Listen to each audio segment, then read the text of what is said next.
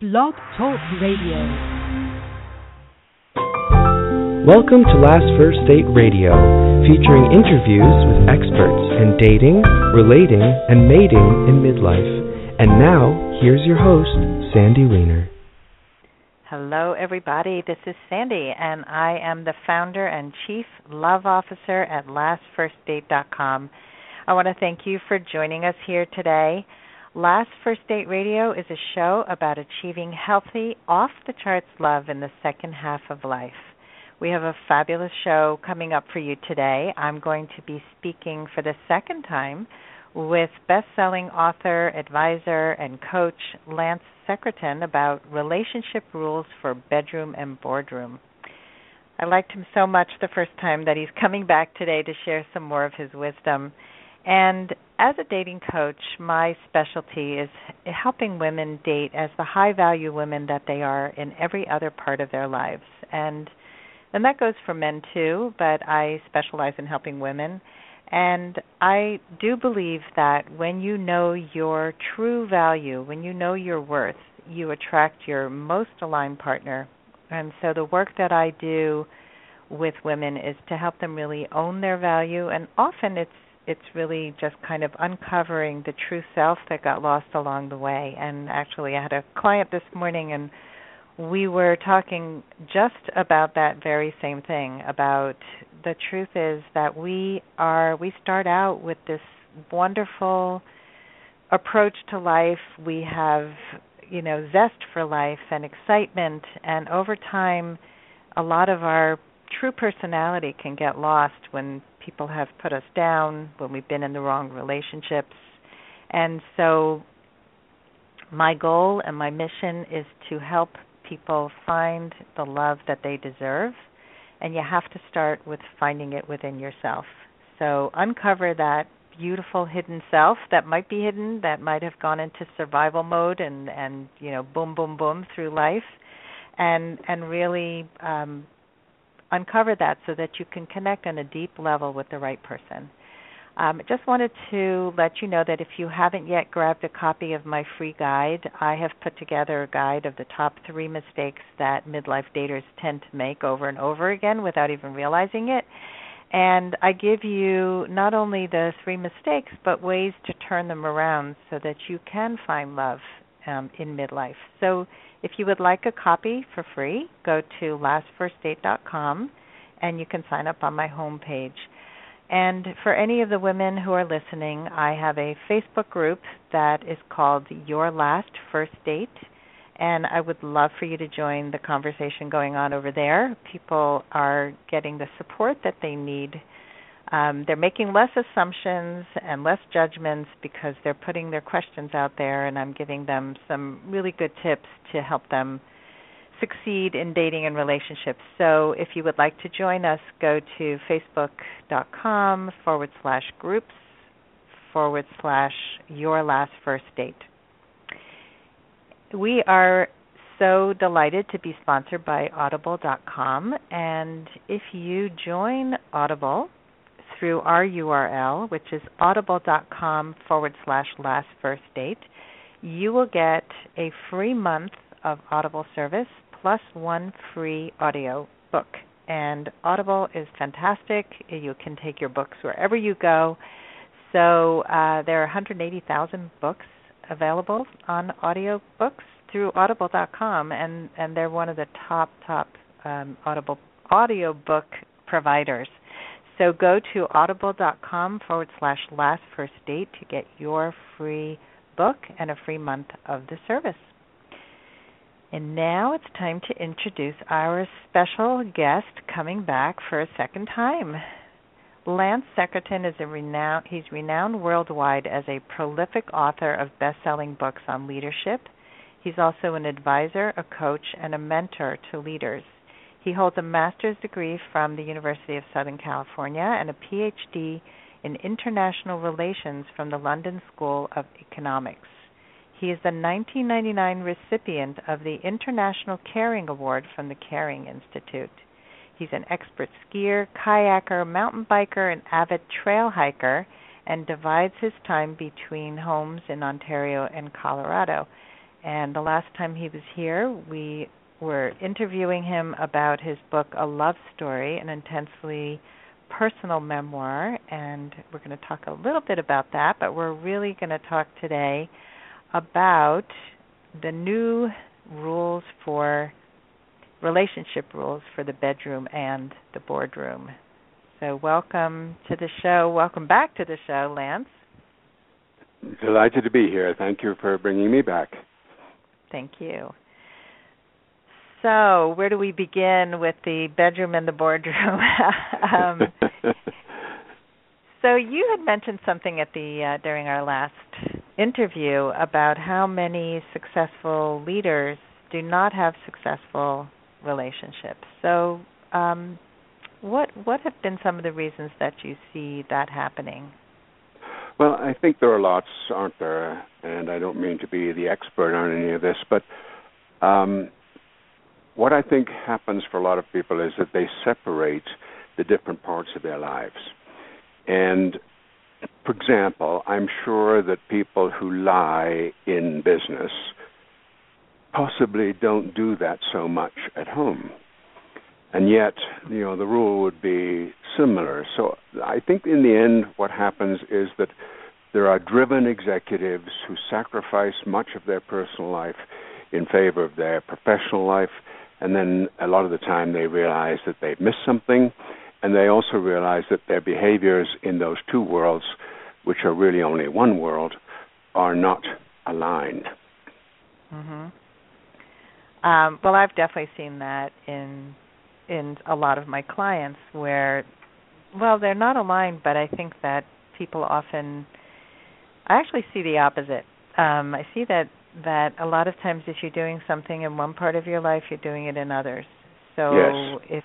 if um, so if you're if at work you're not a team player, for example, right. and you um, then often at home you're also not a team player. If at work right. you're not a great communicator, then it can often show up in your personal relationships as well. Right. Um, your anger, all those issues. So, um, so you're saying that many times it's the separation that um, that causes this kind of disconnect. Yes, and I think you know the thing I've discovered uh, over a quite a long period of time. I've written 15 books about leadership. The last book was not a book about leadership. It was not meant to be a book about leadership. It was about the amazing 30 years that I had with my late wife.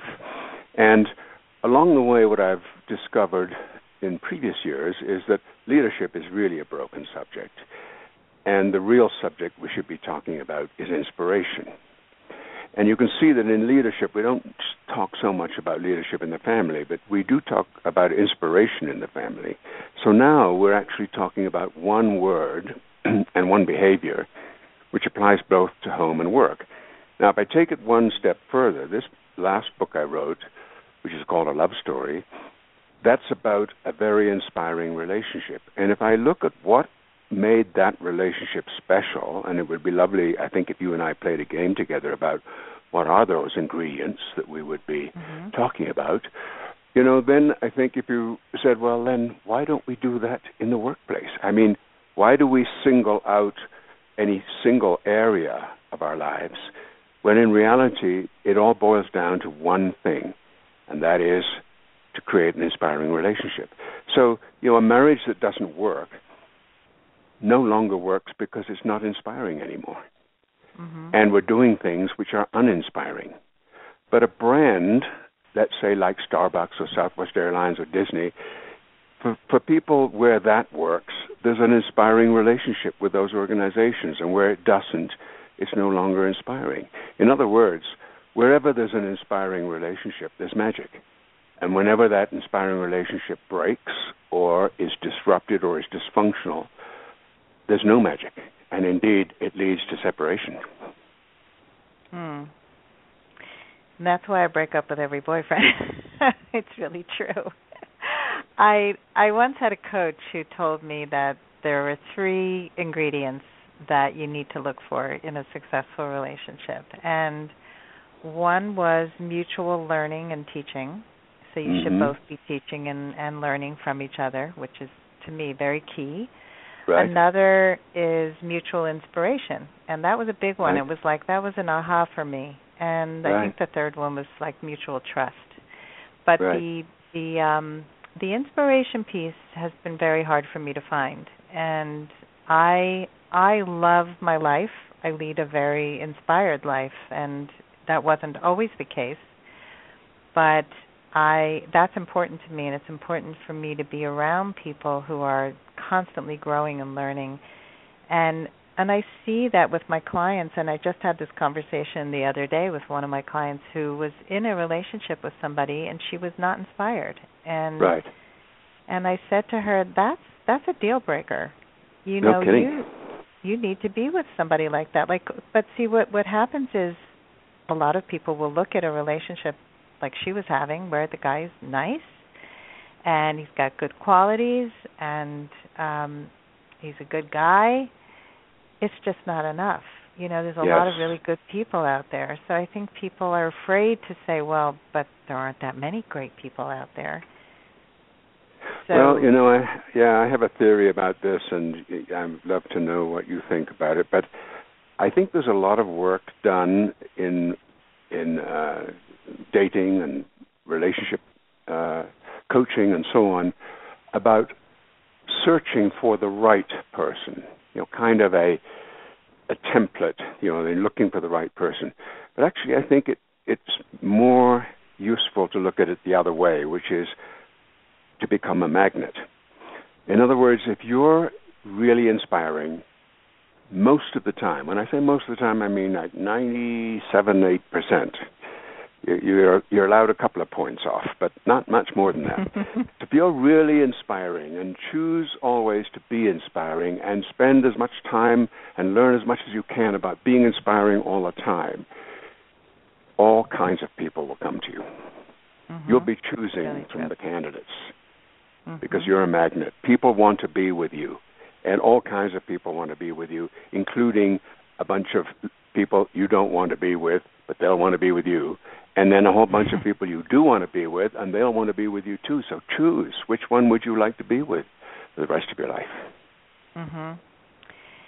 Yeah, I I love that. And my motto used to always be be the love you wish to find in the world. And Yes. it's it's a similar thing. It's like whatever you want more of, you should adapt that. You should be that. And when you're living your life in that place, it's amazing how expansive your life becomes. And absolutely. actually the last guy I dated a few times, um, the last date we had, he said something that really turned me off. And what he said was, I asked him about his friendships because to me friendships really say a lot about you. And Yes. um he said, "Well, I, I don't really have many friends anymore. You know, since my divorce, I don't really have friends." And he said, "You know, I find that my life, you know, as we get older, our lives get smaller." And Ooh. Said, "What do you mean by that?" And he said, Yeah, no kidding. well, you know, we just, you know, things get smaller and my life is just not as big as it was and I'm really looking forward to being with a woman who's going to like fill my life up and I was like, "Get me out of here." I said to no him, kidding. "I I my life has expanded exponentially in at this stage in my life and it keeps Yeah. growing and I need to be with somebody who's got a similar outlook." Yes, absolutely. And I think you need to have some uh, alignment of interests too. Um, Mhm. Basic things, you know. For instance, in my case, I'm, I'm very keen on the outdoors. Um, I'm very athletic. I'm very engaged with the outside world, and uh, and I'm very busy. I'm on airplanes and running around the world all the time. So I'm trying to put those two pieces together. Well, somebody who doesn't want to be uh, outside, for example, is simply not going to be part of my life. I mean, it's just I, I might be very fond of them, but we get on each other's nerves. I know that, so that's not part of the world that I live in. You know, Mhm. when I choose a partner, it, that's how I would make one of the criteria. Mhm. Right. So one of my clients was saying, I met this really great guy and he's not active because he's got some medical issues. So, but he's really nice. I think I'm still going to pursue a relationship. And I said, "You are the most active person. You were out like you know, Yeah. climbing mountains and Yeah. doing, you know, 10-day hikes out in the wilderness, you know, he might be a good friend, but he's not going to Yes. be a good partner for you. No kidding. Unless you want to be a nurse. Yeah, exactly. Don't want to be Yeah. a nurse. Right. Right. Um, so are you actually looking to to find somebody again? I mean, you've been through. no, I have. No, I have have? already. Yes, I have. Wow, you're And, quick. uh, yeah. Yeah, I know. Well, uh, uh, yes, and uh no, it's a wonderful, wonderful relationship, and um I'm I'm very lucky. Yeah, I'm very lucky. well, you're lucky And and you not, know the magnetic theory worked. Yes. So how did you meet her? Um, as you know, I live in ski country. I'm I have a home up in the mountains, and uh, I have a very very close friend who I ski with very often. He's one of the top skiers in the country, and um, he had a mutual friend uh, who used to. Co- he's a musician, so this friend used to come and watch him play music. And uh, one day we were both in the same place, and we uh, connected together, and rest is history. Mm, no, that's great. But a lot of things you see that are there. I mean, all the athleticism, uh, dancing, music, skiing, you know, all of those pieces all fit, and I think that's really Mhm. important. I think if it had been different from that, I think it wouldn't have worked at all. I mean, I've had lots. I, I meet a lot of people, so it's not like there's a shortage of opportunities, but so many of those don't fit from a uh, practice point of view, interests. Mhm. You know, yeah. Right, but also, you know, it's it's also mindset. So you had to be open to meeting her. Um, she had to be open to meeting you. And Right. you've been through a lot of loss and some Yeah. people shut down after loss. They are not open. They don't really believe in the possibility of finding love again and that's inspiring that you are. Well, you know, it's funny. It's it's a very touchy subject for me, as you can imagine, still, because it's not long ago that my wife passed away. Um, it it wasn't that I was open. Actually, I was pretty closed. I think I I was grieving. I was in big pain. I'm still in big pain. Um, I and I'm not canvassing, if you know what I mean. But I'm also very aware of opportunity. And when I see something that's remarkable, I'm not going to let it slip through my fingers. So then I had, you know, the complication emotionally to say, gee, I'm not sure I'm really ready to do this, and yet I don't want to miss this opportunity, so I'm going to have to try and close the circle here. It's very complicated. And just a footnote to this is a very interesting article today about Liam Neeson, the, the actor, whose Mhm. wife was uh, Natasha Richardson, who died in a ski accident seven years ago. He's Mm. still grieving, but apparently the news is that he's found someone he's in love with, and he is doing exactly what I'm doing, and that's why it resonated so much with me, which is, uh, you know, and as I've told my new love, um, you have to know I'm in love with two people. You know, Mhm. you on this plane, and my wife Tricia, who's not on this plane, but I'm still in love with her, Mhm. big time. Yeah, you don't just stop. No, sir. And yeah. And so, you know, you have to have that conversation too about are you okay with that? I mean, I've got a book out that's doing really well and is all over the place, which is about my late wife. And how do you feel about that? You know, Right. uh, that's going to be in your face a lot. So, how's that going to work for you? So, all those Mhm. pragmatic conversations one has to have, they've all worked out beautifully. She's been incredibly supportive, and so, you know, it's it's been it's been good. That's good. Well, she must be Mhm. a, a very secure person to be okay with with it. well, again, it's it's up to us too, isn't it? It's not. Of course, she is. She, she's fa- fabulous, but I want to make it easy for her too. I need to be inspiring for her. Mhm. Otherwise, it could just start jarring, couldn't it? Right, right.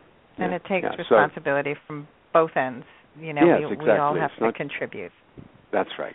So it's back to your earlier question about, you know, I, how do you find the right partner? I think it's it's really about being so inspiring Mhm. that that anybody worth their salt wouldn't dream about not being with you.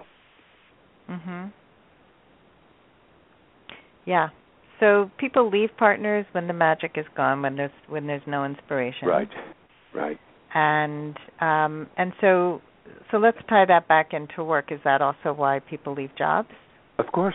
They they Yeah. they're inspired by the new job and the new boss uh, because they don't know anything about them, either one, the company or the boss. But they they hope for the best. It's human nature.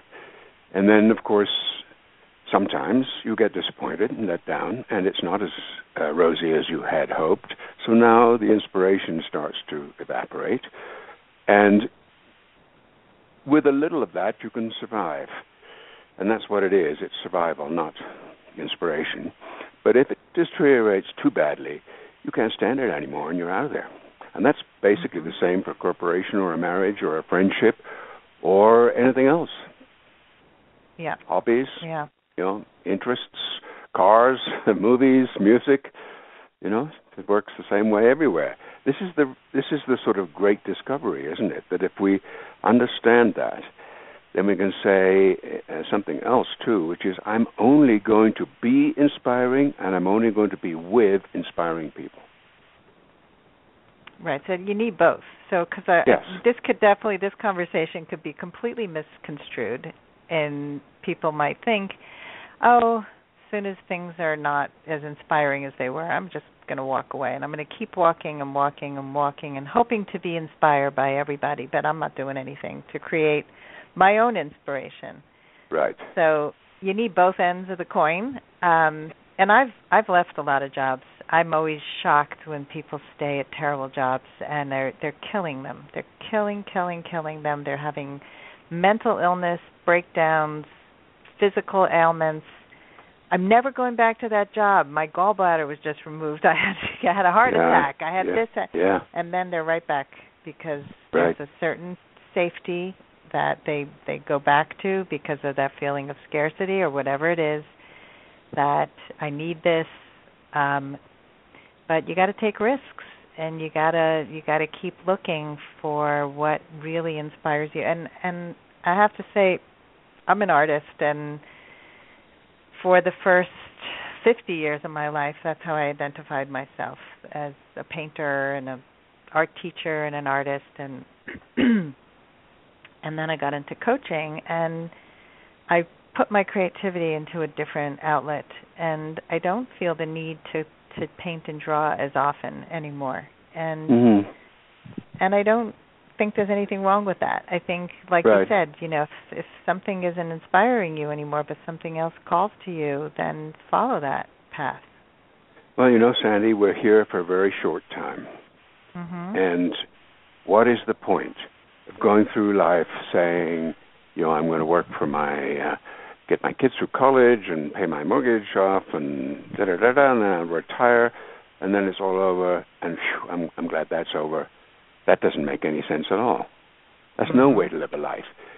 You need to really put your foot on the gas, live large, live it fully, and if it should end, it ends. But let's, like your friend you were talking about, or at least somebody you, were dating earlier, you talked about. I, the image that went through my head as I heard you speaking about that was, I want to be a rocket, and I want Mm. that rocket to keep rising. It's never going to go down. Mhm. The only time it'll ever go down is when it goes out. Yep. But I don't care about Yeah. that.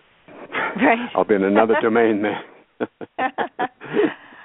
yeah, and that's another thing is that people fear death so much and they forget to live. And Yeah. and you're gone, you're gone. I mean, you know, you, you at least die knowing that you lived a full a full life and you did your best and you made a difference in people's lives.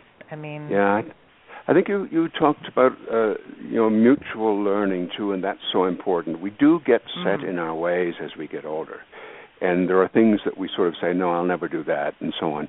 And one of the things I'm I'm learning now, for example, in a new relationship, is that I I want to be open to things I've never done before, which my partner knows about, like sailing. Mhm. I have no interest, never been involved in sailing, don't know anything about it.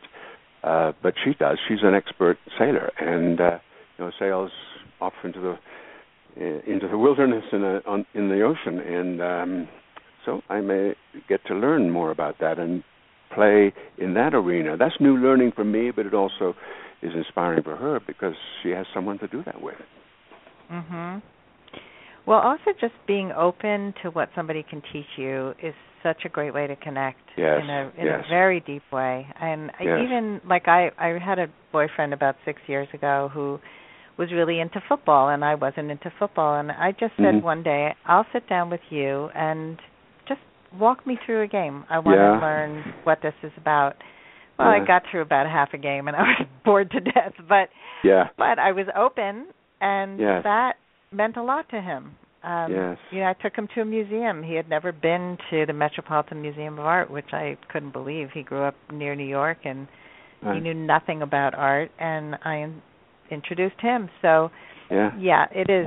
That's one of the most exciting things to me about being with a new partner is is learning from them. You don't want a yes. clone. You don't want somebody who's everything you're you are, which is what a There's lot of people another thing seeking. too that I think is interesting. I hear a lot of women saying there are no good men out there, Mm. um, and I, I I hear it, but you know all the all the good women must have been married to um, good men, or many of them. Uh, they couldn't have all been bad. I mean, there must have been some some advantage some of them, and there's a presumably a roughly even number of these human beings, you know, women and men.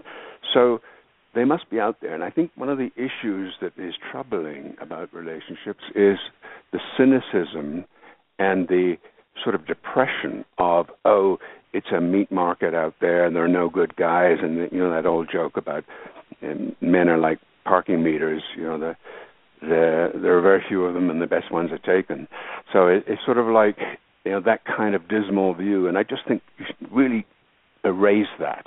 Get rid of that idea. There are after all 7 billion people on the planet. There's going to be one for you somewhere. Uh, I agree.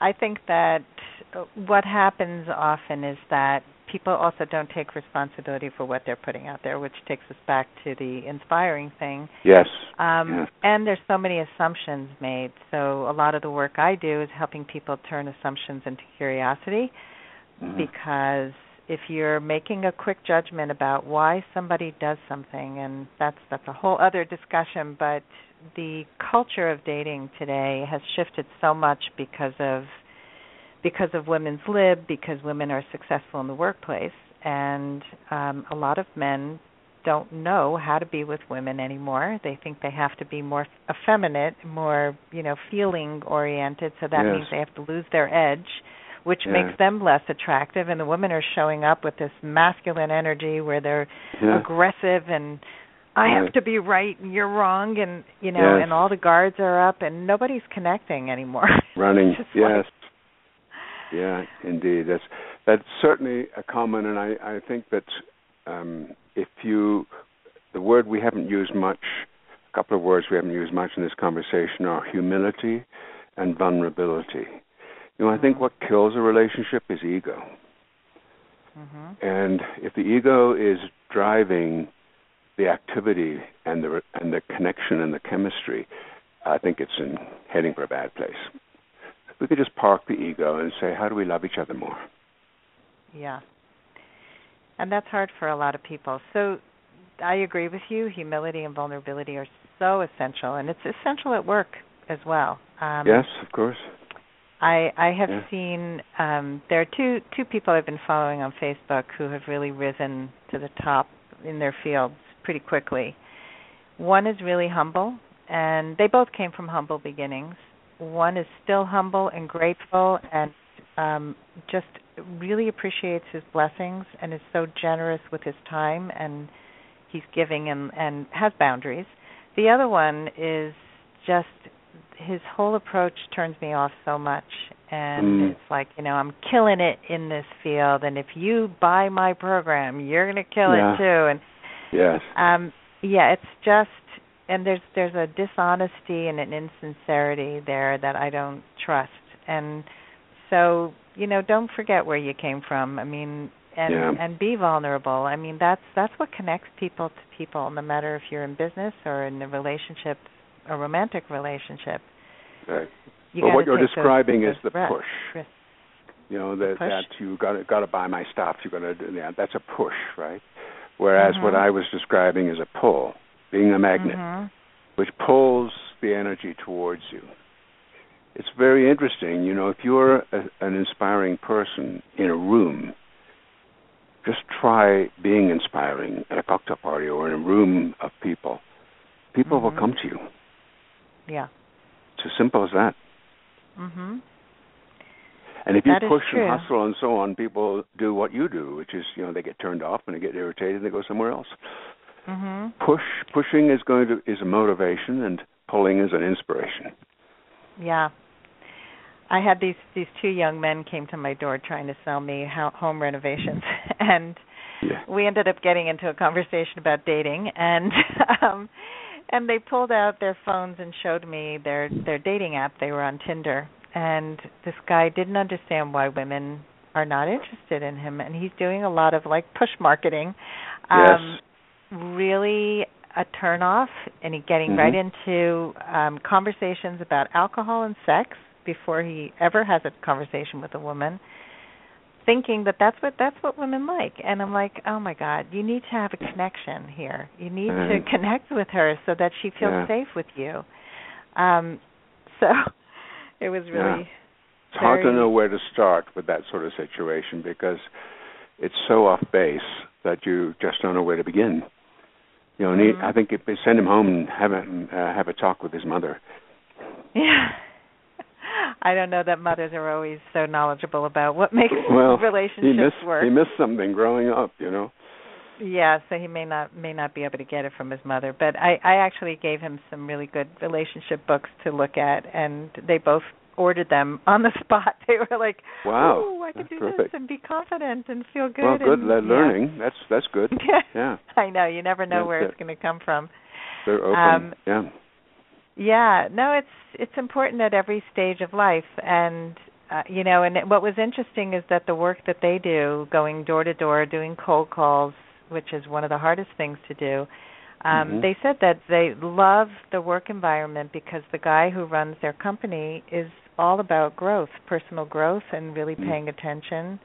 And I was thinking, you know, in terms of this conversation, this is a guy who understands relationships that the relationships you have with your fellow employees im- are is really important.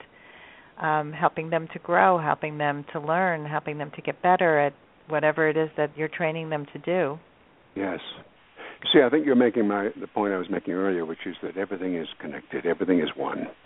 So Mhm. if you think that the terrible relationship you've got at home doesn't show up at work, that you just have a fight at home, you come to work and everybody wonders why you're so cranky, and it's not surprising, you can't keep it out of your life at work, so it does show. I know you are under the illusion that it doesn't show, but the rest of the world doesn't agree with you.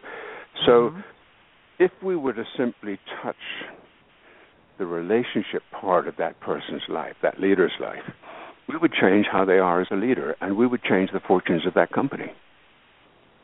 It's that Mhm. connected. I mean, I know in my own work, I had a phenomenal work relationship with my wife, and she was truly inspiring, and I hope I was was for her. But she filled my heart when I went to work. You know, so when I would go to work with a client or wherever, my heart was full of the love I had for her and therefore what I wanted to share with everybody else. So she was directly influential in the outcomes that I was bringing to bear on major corporations. Hmm. That's the connectedness of it all. Now, just reverse all that and say, you know, supposing the opposite happens, I would have been nowhere near as effective. Mhm. Yeah, I- seeing the connectedness, and I just think most people don't understand that connectedness. What you touch over there is going to affect over here. Mhm. I agree. I think it's a really good point and I think people often don't see the connection. And Right. so what can they do to start shifting the the dynamic both at home and at work? What can they do to to change it? To change it, yes. Yeah. Um, well, I think that uh, the first thing is to remember that a relationship is a serving relationship. It's not about what's in it for me or what why don't you do this for me or that for me or whatever. It's about how can I serve you? How can I make your life better? How can I inspire you more? How can I love you more? What different ways can I be a better partner for you? These are the questions we should be asking. If you just pile that on in as many ways as you can, how can it go adrift? How can it go wrong? And how can you not receive the same thing? And honestly, if that doesn't happen, if that isn't the recipe that works for someone, then there's something deeply dysfunctional about the relationship, and it's time to look at that. Mm-hmm. But if I said to you, Sandy, you know, what can I do for you? How can I make your life better? I think the way you would think is, wow, that's really nice. Um, well, here's what you could do. But I need to be thinking too about what I can do for you because I've not been asked that before, and I want to be doing the same thing. Mm-hmm. Now you're on a spiral that's rising. That's a beautiful place to be. Mhm.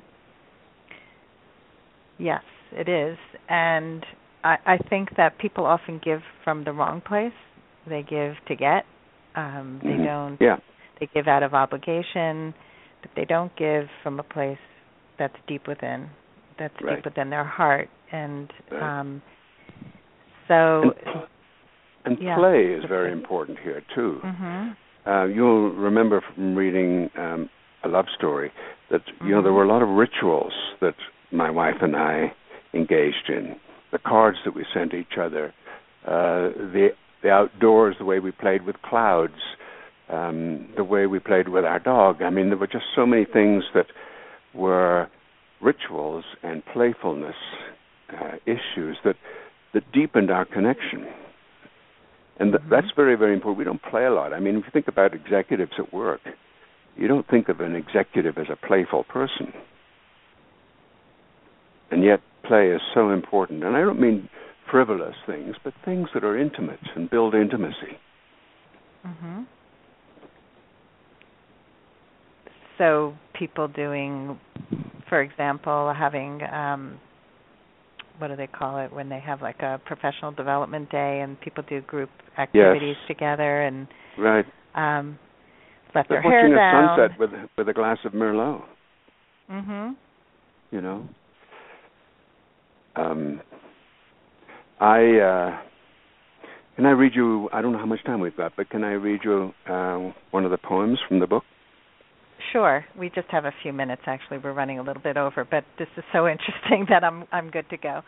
Well, Um, there was a, uh, you know, after my wife died, I, uh, um, I, I remember sitting on my own, wondering where she was, and uh, you know, I, I thought about, as one does when we lose a partner, where, where are you? And I was sitting in the hot tub in my home, and the sun was coming up, and I realized that the sun was beautiful, and therefore it must be her. And I realized as I thought about this, everything is beautiful, especially the things that we love, these rituals and these things that we share together. So this poem became It Must Be You. The call of the loon, the alpenglow, the eclipse of the moon, they're beautiful. So they must be you. The double rainbow, the mist in the veil, the silent snow, they're beautiful. So they must be you. A puppy's love, sunset and Merlot, the clouds above, they're beautiful. So they must be you. These favorite moments of magic and joy, here at least, they're beautiful. So they must be you. They say that God's in everything the dances we share and the songs we sing. They're beautiful. So they must be you. I searched for you, looked everywhere, and then I knew everything's beautiful because it's you. Mm.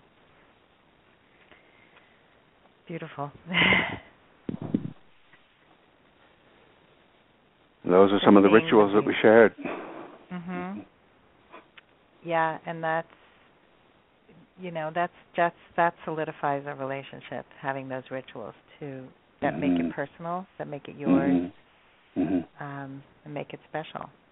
Yeah. Um, beautiful. So I think we've covered some, you know, basically just to sum up that there are connections what you do in with what you do at work and what you do in your relationships are very interconnected. Correct. when you yeah. improve one, you improve the other, and um, and the key is to be inspiring, and to look for inspiration, and to be inspiring, and to bring humility and vulnerability and play into your life, into your love. Um, that there are good people out there, and that they're not right. all missing, but right. that you have to inhabit these qualities and you become magnetic to the right partner. Beautiful summary. And I would just add we have to live that, not mm-hmm. just intellectualize it. You know, this is not a theory. You have to mm-hmm. actually breathe it. You want people to be looking at you saying, wow, you're really inspiring. Yeah. Well, you are inspiring, Lance, and that's why I had you back a second time. um, Thank you. And you know, I love your message, and I think that people really need to to inhabit it, to believe it, um, to be it. So, thank you. Thank you. And, thank you for inviting uh, me. I loved it. Yeah, no, I loved it too. And um, tell people where they can find you once again. Uh, secretan.com, S-E-C-R-E-T-A-N dot com. Uh, also Amazon and all of the online uh, retailers. a love story. Awesome. So I will, um, and I will give you a nice review for your book. I really loved thank you. it. Um, yeah. Thank you. Um, and thank you for the great work you do, Sandy. Thank you, and all the best, and we'll be in touch. Lovely. Yes, and thank you all for listening in today to Last First Date Radio, and I hope that you all go on your last first date very soon. Have a great day.